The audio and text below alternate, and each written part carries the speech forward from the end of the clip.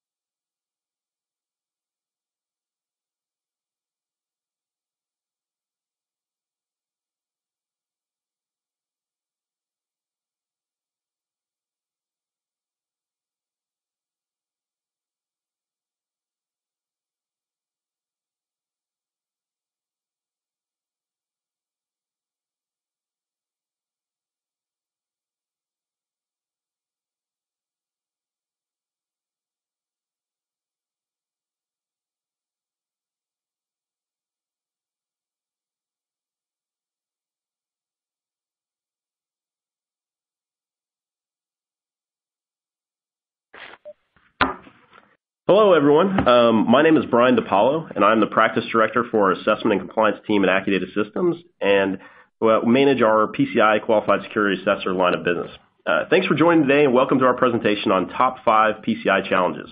This was a list agreed upon across our entire QSA team uh, based on what we continually see across many of our PCI engagements. The webinar today will be presented by two of our most senior QSA members with extensive experience across hundreds of engagements spanning various verticals. Tim Sills, who is our primary presenter, is a senior consultant at Accudata with his primary focus on PCI as well as technical assessment. Anton Abaya will also join us for the Q&A section and is another senior consultant on the team with a strong audit background um, uh, as well as, uh, uh, so, I'm sorry, strong audit background with a focus around PCI technical assessment, as well as HIPAA compliance. Without further delay, again, I want to thank you for your time today and introduce Tim Sills to present five top PCI challenges. Hi, Brian, and uh, thanks. And certainly, thanks to everyone for uh, uh, joining us on on the call today as we cover some of these different topics that we see time and time again. Um, actually, Brian, if you can go ahead and flip to the next slide for me.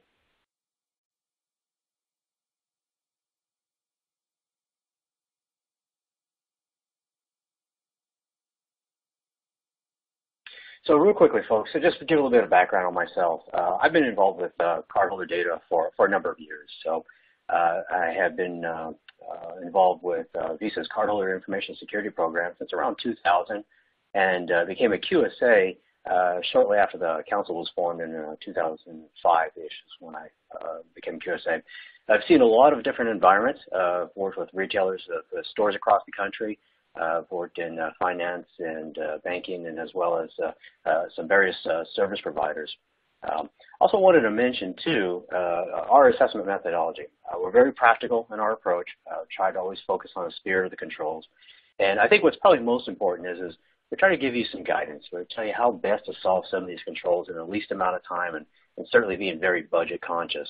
And lastly, um, we've uh, developed various tools to help streamline the data collection process. We know it's very overwhelming uh, with uh, what you've got to go through. And so we've put together some tools to help us gather this information. Gives you a real-time perspective of controls, their status, what's in place, what's not in place. So that's something that we've developed over the years. Now, these five scenarios that we've picked here, we see them continuously and can be very challenging for customers. And so what we're going to do is we're going to give you a high-level perspective of what those challenges are, and then as well as give you some use case examples of where we've seen how customers have have solved some of these. Um, and First and foremost is uh, PCI scope. So this is certainly one of the the major uh, categories in terms of uh, establishing the ground rules for the engagement. And this at the top here, we've got an excerpt from the DSS. Basically iterating, right? That uh, the scope is cardholder data environment, wherever cardholder data is, and anything that's connected to it. And so we refer to those as like uh, side scope systems, these ancillary systems that support that environment, such as uh, antivirus and uh, um, uh, for authentication, event logging, and things of that nature. Now the challenge here, right, is uh, the need for segmentation. So if you don't have segmentation and isolation, it's going to drag your whole environment into scope. And so it's going to uh, make it even more challenging um, uh, as it is. Now, in this particular case here, we had a, a clothing retail chain. So they had uh, locations um, across the country. So uh, multiple stores and multiple lanes per, per location. And their issue was, was they needed to meet compliance in the shortest amount of time and, as well as address multiple gaps. And so unfortunately, uh, the registers uh, had um, uh, the need to install antivirus on them, certainly needed to do some patching and things of that nature. And so the solution here was, was to put into place a point-to-point encryption uh, solution. So if you've, uh, I'm not sure how many of you have come across this or have seen this, but basically what it is is you swap out your PIN pad, your terminal, and at the point of interaction, when a customer swipes, uh, basically the data is encrypted at that point. The merchant, uh, they didn't have any access to the encryption, decryption keys, so they don't have access to the cardholder data. And now what's traversing their environment uh, is encrypted data. So basically, it uh, excluded their environment and was no longer in scope. So it helped reduce that footprint and minimize uh, the, the scope dramatically. Now the challenge also for us as the auditor was that the proposed solution, uh, PIN pads, uh, were not on the approved list. So the council has an approved list of P2P solution providers, and if you use one of those, you get to fill out a very simplified questionnaire. And in this case here, the acquiring bank, uh, we went back to them. They were fine with this proposed uh, P2P PIN pad because they'd already had about, as they had said, about 15 million of these deployed across the country. So they were fine with it. And so what we ended up having to do was we still had to fill out the complete report on compliance. So it was the level one assessment. But now what had happened was a lot of the controls were marked as not applicable uh, since cardholder data didn't exist. And so it, it, uh, it reduced the effort uh, but, uh, and uh, helped streamline that, uh, that process. So moving on, the next category coming up, vulnerability management. So vulnerability management applies to the whole environment. So we can't do any sampling here. Everything is applicable. And, uh, and, and, there certainly is the need to um, uh, scan all systems that are in scope, those side scope systems we were talking about. And the challenge right here is, is that we see a lot of times environments might be neglected or, or worse yet, there's this fear factor, right, that we don't want to apply patches because maybe uh, we're going to break systems, and these things get identified in the, the uh, scan process. And in this particular use case here, we had a customer that had multiple call centers. Now their challenge was was that these call uh, these workstations at the call centers were running legacy operating systems, and so um, they were going to be challenged with having to do a complete forklift upgrade. Obviously, limited IT budget, as most of you know, right? So so uh, without with this uh, outdated OS, uh, what we, we came up here with was uh, this endpoint solution that would uh, provide application whitelisting, uh, host-based firewalling, and so it gave us these granular controls of the environment and helped us lock it down. And then as well as we were able to raise the bar, so we went above and beyond with the host-based monitoring. So collectively, we felt that uh, putting into this endpoint security solution helped achieve like the spirit of the controls that locked down that environment for the call centers. And we felt confident with that and we were able to move forward. So moving on here, uh, another category, right? So one of the other items that we see, patch manager, right? So similar to what we just talked about, uh, applies to the whole cardholder data environment, all those ancillary side scope systems that are uh, uh, connected to it. Again, no sampling, right? So it applies to everything. Everything needs to be maintained. Key challenge here, right? Multi-platform environment. So you've got Linux and, and Windows. You know, that uh, increases the challenge of it. And as well as any network devices, right? So we look at and see, right, where there's patches that need to be applied to, uh, you know, Cisco routers and, and, and the network appliances itself, right? And, and also, too, another key challenge being that uh, uh, maybe patches are no longer available, right? We've seen this time again where, uh, unfortunately, customers have, you know, some old legacy systems and they can't be patched. So in this particular customer's case, this use case here, they had a healthcare organization, right? So they uh, they had uh, multiple workstations within given buildings, and let alone across multiple campuses. So very distributed environment. Uh, the need to apply patches across there, again, install antivirus, uh, and, and, just get on top of that environment. And so we kind of collaborated with them, and, and the solution here was was to come up with uh, the deployment of um, uh, Wyse uh, thin client devices. Right? So they replaced their workstations at all those locations and put these uh, thin clients in place. And so what was nice about this was was that the the workstations were doing minimal functionality. They were accessing some in-house applications for payment processing and customer data entry. So that was really it. So uh, they were able to minimize uh, what they needed to do from a, a patch management, uh, application deployment perspective, and move towards these uh, Wyse uh. And you can get them in different flavors. So we have customers that have them both in Windows and, and as well as uh, uh, Linux-based as well. Now the next category, logging and monitoring, um, very challenging, right? If you've looked at Section 10, you know there's a lot of detailed controls there, a lot of requirements that you, you need to handle. And uh, certainly what uh, is challenging for most customers is you get it's overwhelming with the amount of data that you get from all these systems and devices. Again, applies to that CDE and all those side scope systems. And so there's the need to gather this data Sometimes we see customers, they don't have a, a centralized data collector. There's uh, islands of data that are out there. Uh, and so that's also a, a, challenge. And then more importantly, the need to do daily security re uh, event review, right? So we see, especially within a retailer environment, we know that uh, uh, it's a thin staff. It's difficult to stay on top of that, and as well as, quite frankly, maintaining the stores because we, we know it's important for you to be able to handle uh, the, the processing. And so in this case here, right, retailer with uh, several hundred stores across the country, 10 lanes per store, so they had like 10 registers, up to that many. The need to be able to, in this case, collect data from all these locations, normalize it, make sense of it, and then on top of that, be able to do daily log reviews. And uh, so combined with the, the limited resources, the overwhelming amount of data, uh, uh, the suggestion here and what they went with, and we see several customers do this here now, is where we get this where they outsource it. So they'll outsource to a security information and event management solution provider. And I really, really like this here because what it does is you literally flip a switch overnight where that you can achieve compliance in quite a few uh, control uh, areas. And so what happens is when you go to an outsourced log management solution provider, They'll put an appliance on site at your location, and now you pipe all your log data from all your devices to that device, and it will normalize it and it will send it uh, upstream to the uh, event log collecting company that uh, will now they, they're going to maintain the storage of the data for you. So now you've got your retention requirements met, and as well as, and most importantly, they've got 24/7 monitoring. So now you're not getting overrun by alerts. You've got somebody else that's looking at this, making sense of it, and then alerting you when it's important.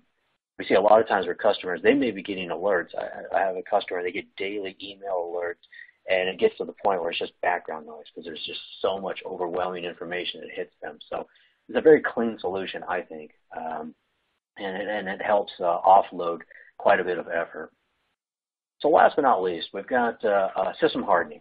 So uh, it again applies to that cardholder data environment, applies to the side scope systems, and we see here, like if you look at the Section 2 requirements, um, the, the, the, the main theme here is, is you got to run the bare minimum, right? So we're, we don't have excessive services, no default passwords, and, and more importantly, we disable support for insecure services. And so uh, it's just a, the need to lock down the environment. Now, for this particular use case, we have a, a service provider and uh, it was just a mashup of an environment. Had excessive services running, ad hoc deployment process, and so when you looked across the environment, uh, you saw just a, a, wide variety of available services, in most cases not even really needed. And so what we did is we came in and we said, look, let's get it, let's establish a baseline. The solution here is let's let's look at the CIS benchmarks and the NIST hardening documentation. And certainly, the if you've looked at the CIS benchmark documentation, it's pretty extensive a lot of a lot of items in there. So you need to tailor that to your environment, and, and uh, but nonetheless, though, that's a good starting point. And so what we did was we said, okay, let's get this baseline build done, and that becomes our gold image. And then on top of that, let's make sure that the hardening standard has a process such that that, that image gets routinely updated with new patches as they come out. And then as well as that, what we did was we established like a review and approval process. So no more ad hoc deployments. Let's get something where we've got a, a board, right? You, I know a lot of you already do this, but you have a weekly meeting, you review, and then you approve what needs to get deployed. And then lastly, uh, we took advantage of what you already have, right? You have a vulnerability management tool you already use to address other control requirements. So in this case, the idea was, hey, let's go in and do authenticated scans. That way there you can do configuration management and validation. So that way there you kind of come full circle and make sure what's already out there is in line with what the, the baseline standards are and uh, and you're also validating, right? Things are getting updated appropriately. So in summary, we've got these five categories, right? And there's a lot of overlap, certainly between vulnerability management, patch management, system hardening. You see that. But at the top, right, PCI scope, that's, that's everything. And so that's where it all starts. And if you can get your arms around the scope, you minimize the effort in these other categories. And, and certainly it'll make it a lot easier for you in terms of when you got to shore up your environment, makes it a lot easier on us from uh, an auditor's perspective when we have to come in and assess an environment. So uh, uh, that will certainly minimize the challenges. So anyways, uh, that's basically it. These are the five categories that we see time and again, and uh, you know, collectively, if you can address these areas here, it'll certainly make the whole process much easier. And uh, I think we've got some questions that were coming in, and uh, uh, with all that said, Brian, I'll hand it back to you. Sure, sure. So, so thank you, Tim. So uh, your review was very insightful. It's very consistent with, what we've seen as a QSA company since 2007. Um, really, again, just stressing on the on the scope side, that is something that we see consistently, and it's so important that scope be identified and locked down as, as quickly as possible through the process, and that will enable you to be more successful through through kind of your compliance journey. So at this time, though, we will begin our Q&A session with both Tim and Anton. Uh, during the registration process, we received a number of questions, which we'll review at this time. But if you have additional questions, and I know some of you joined a little bit later, um, if you have questions, please um, enter them into your Q&A window, which should be at the left side of your screen when you logged onto the webinar. Um, so, so feel free to be submitting those actually as we speak, and, and we'll try to get to uh, as many as we can. But with that, I'm going to go ahead and get started. Um, the first question I'm to, going to direct to Anton. Um, could you provide any PCI concerns specific to Wi-Fi or wire, wireless point of sales? Sure, Brian, and thank you for that question. Um, it's a very good question. Um, and with regard to wireless uh, or Wi-Fi, uh, I think what we find to be the biggest challenge related to that is when you have an organization that has a wireless implementation across you know, a large, uh, um, you know, a large environment, you know, multi, um, you know, hundreds of stores, many, many buildings, many floors in that building, right? So there's a lot of wireless networks and devices, access points that are, that are brought into the scope of PCI. Now, uh, the challenge usually in all of that is, is usually when when organizations have, uh, I would even say, early adopters of wireless, um, in the sense that they're they may be using kind of dated technology. You know, the firmwares can't be uh, brought up to date. Maybe it's not even supported by the by the vendor or manufacturer anymore. Uh, and in some cases, um, you know, the, the centralized management features um, hmm. Uh, are, are, not fully there, right? So, um, you know, in, in, what, what we see a lot is that uh, the customers who do decide to bring wireless into the scope of PCI compliance, the ones that are the most successful are the ones that have a modernized enterprise class solution, you know, with centrally managed, um, you know, um, uh, that are centrally managed, you know, that can be easily updated in firmware and made to comply with the PCI DSS requirements for wireless. Now, that's not always obviously the case. And I actually have a customer right now who, who kind of went through that and uh, it was a large hospital system where they had their wireless in scope. You know, they had these workstation on wheels that they were pushing around, you know, um, say, say in the emergency room, or they had tablets used at various pharmacies that they, that they owned and, and, and managed, right? And the wireless infrastructure was obviously in scope for them, but the challenge was they couldn't get it PCI compliant because it, they were an early adopter and it was dated technology. Um, so the way we went around that uh, was to actually be creative with with uh, with the security uh, controls that we developed with them. Uh, and what we actually did was we moved network isolation all the way down to the workstations themselves, say the workstations on wheels. And what I mean by that is we deployed with them, um, you know, centrally managed host-based firewalls uh, that would isolate those those systems, those workstations immediately on any Wi-Fi network. Um, another thing that we did was we validated uh, and ensured that their point of sale uh, applications or processes uh, on those workstations were always transmitting cardholder data, um, you know, encrypted, right? Uh, and, and by doing these two things, what we basically did was we treated the wireless network as a public network even though it was their wireless network, we just treated it as a as a public network, right? Um, and when we moved all of those security controls closer to the workstation, we've effectively, um, you know, kind of locked down that system. So hypothetically, even if that workstation were to be moved to say Starbucks, you know, wireless uh, access point or wireless network, it would still remain PCI compliant. Obviously, that was not allowed by security policy, um, but um, I'm just driving a point home that it was still going to be PCI compliant no matter what Wi-Fi network they connected to.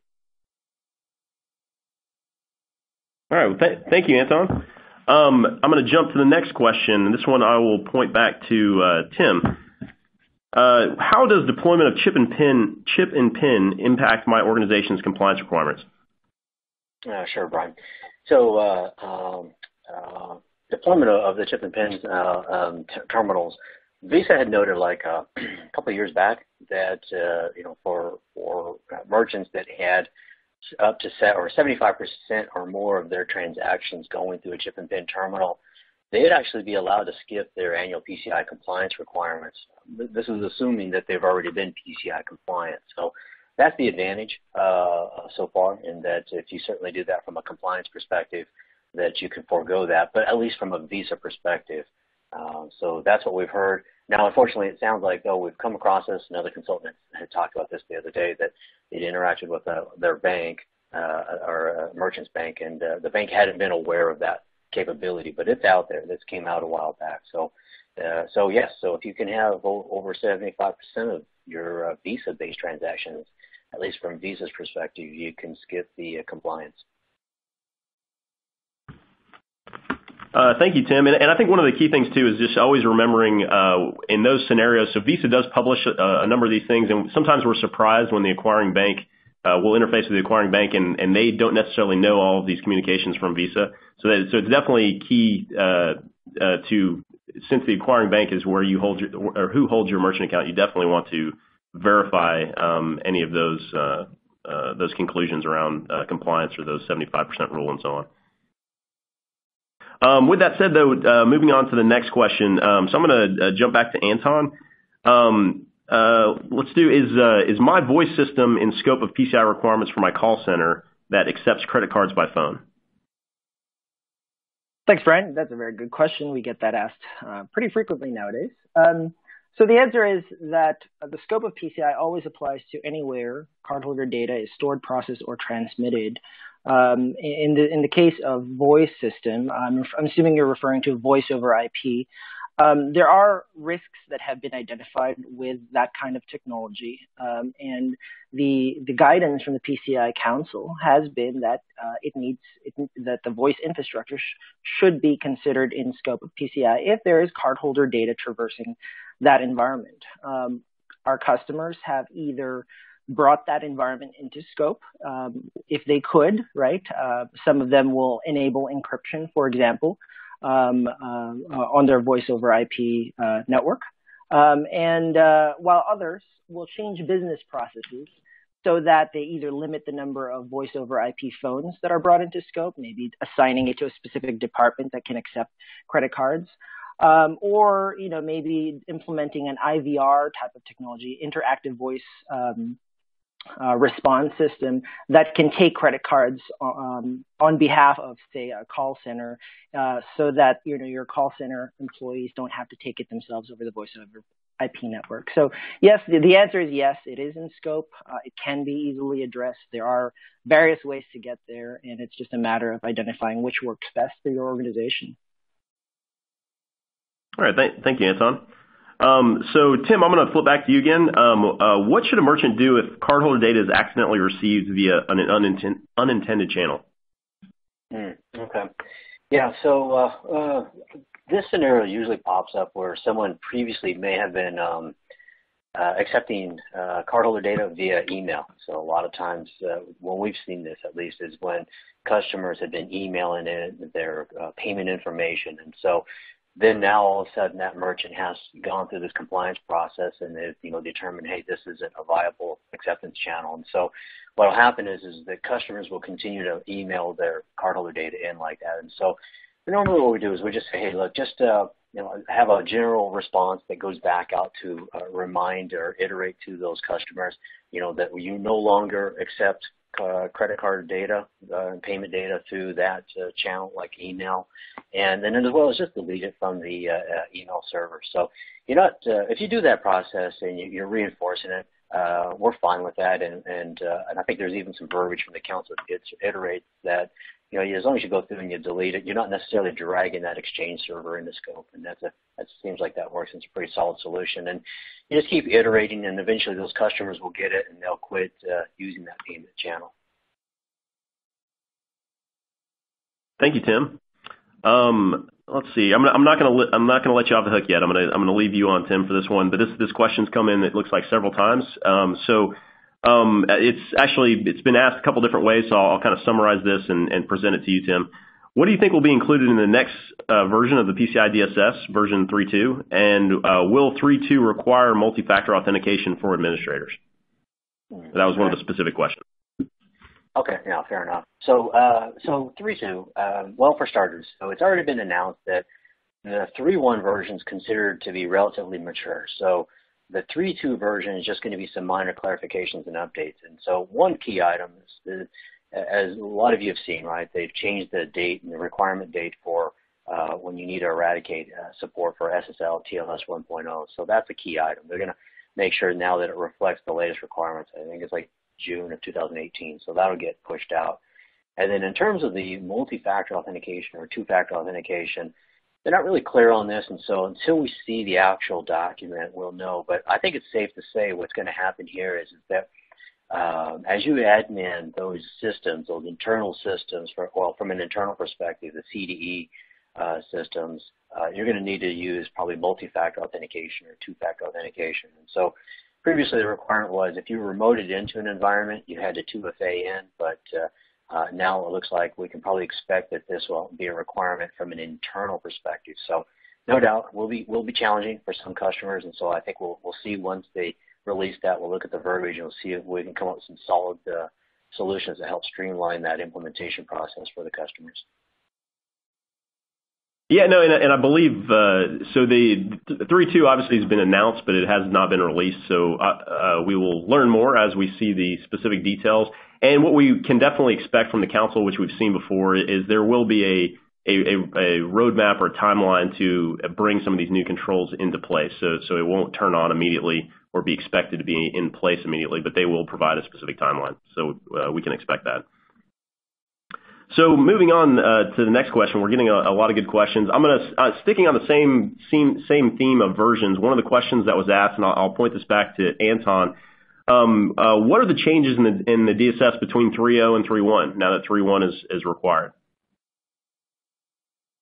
3.1 was actually a very interesting um, release from the PCI Council. It was it was released almost immediately um, after a lot of the vulnerabilities came out regarding SSL and, uh, and early versions of TLS. You probably would have heard of some of them, Beast, Poodle, uh, that sort of thing. Um, and the PCI Council basically said, you know, SSL and early versions of TLS were uh, no longer to be used uh, within the organization, effective immediately, right? Um, and, and, it came out right away uh, because they were they were trying to address the, the immediate risk that occurred uh, related, related to those to SSL and TLS. Now, a short while later, they actually backed off on that um, on that uh, on that on the on the deadlines of effective immediately uh, because there was a lot of pushback from the industry. Um, there were a lot of organizations that couldn't move there immediate, uh, that quickly enough, and um, you know it turns out that maybe the risk wasn't fully there, uh, wasn't that critical. Um, so we expect so that, that, that, you know, they backed off on that effective immediately response for version, version for SSL and, and T, earlier versions of TLS. And that's going to be reflected in actually uh, the 3, 3.2 release. Um, and, some of those kind of sunset deadlines will be reflected there as well. Thank you, Anton. That was uh, a good response. Um, I've uh, let's see. We'll jump to a, a, different question. I guess I'll point this one back to Tim. Um, uh, a question came in. that's asking, uh, when using an enterprise solution such as patching or logging solutions, do all those systems the solution access become in scope? No, uh, I, it, our focus is really on, and we always try to re- remind folks of this, right? That we kind of connect that where the thigh bone's connected to the hip bone mentality. So really, those uh, ancillary systems that might sit outside of that in-scope environment, they may support the in-scope systems, but you know, we recognize, right, that for instance, AD will support other uh, systems uh, within the environment. So any of those other ancillary systems or users that may connect to that, we don't we don't extend the scope to that. So we kind of delineate that. We go as far as whatever is connected to the in-scope environment and usually stop there. So we don't need to extend beyond that. So if you were to do that, I mean, it would be back to where we started, where the whole environment would be in scope. But uh, that's usually been our approach, and it's been pretty solid. Thanks, Tim. Um, um, let's see. Moving on, we've got uh, here. Here's sounds like a pretty good question. Let's um, let's go back to Anton again. So, um, people, uh, or I'm sorry, PCI is about people, process, and technology. Um, and and the the top five challenges we presented today were very focused on various technologies. Um, uh, what are the top challenges from the people and process standpoint? That's a very good question. Um, I'm actually facing that problem right now for, for a very large merchant customer. Um, the they, they have something like 15,000 people who uh, total in the organization that are involved with credit cards at some point or another. Um, and I think the biggest challenge with people and processes is um, when you have that large that large number of people and and in their case they're actually in the process of trying to change the culture. They had a culture that that permitted um, you know emailing of credit cards for a very long time. Uh, and when when it came it became time to become PCI compliant um, you know with a QSA that was one of the things we had to call out and say hey this isn't actually allowed by the PCI council and the way you're doing it is you know insecure um, so right now, and they've and, and, certainly the organization has embraced that. They've acknowledged that, especially at the top. And uh, right now, they are in the midst of trying to change culture. Right, everybody's just habitually using email and have done so for you know the the many years that they've been in business. So I think that's probably the biggest challenge. It's it's it's training, it's consistency uh, of applica- uh, of the application of you know policies and procedures, and, and making sure that the message um, uh, is is is is uh, embraced by uh, the people within the organization. Thanks, Anton. Um, good, uh, um, good recap. I think I'm going to jump to the next question. Actually, I'm going to take this question myself. The question is: Are some QSAs more liberal, than others? And um, uh, as as the uh, as the director who manages this area, I, think I, want to address that real quickly. At the end of the day, there's the PCI Council. We've been a QSA since 2007, and we've seen a lot of good QSAs, and we've seen a lot of other QSAs that you know are, probably more liberal with with how they interpret the interpret the controls. Um, the PCI Council has been has put in place a QA program back around 2009 um, and that is a process to audit the QSAs and really to drive consistency among the QSA community. At the end of the day, uh, we do realize as a QSA, you're in business. Uh, you, you have you have a, a requirement to to do whatever you do as a as a business organization, and PCI compliance is just a a um, is something that uh, needs to be accomplished per your your cardholder data requirements. But that's obviously not what you're in business to do.